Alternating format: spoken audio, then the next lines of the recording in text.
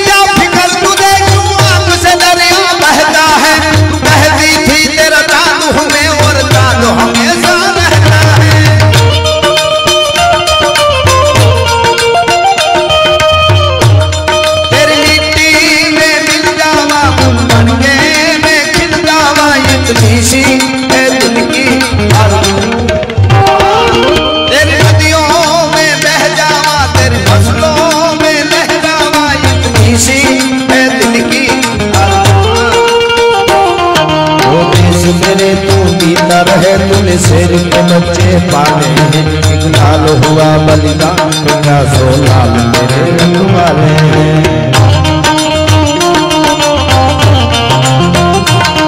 ओ मेरी जमी महबूब, मेरी मेरी नस नस में तेरा इश्क बहे। पीता ना पड़े कभी रंग तेरा जिस्मों से निकल के खून कहे।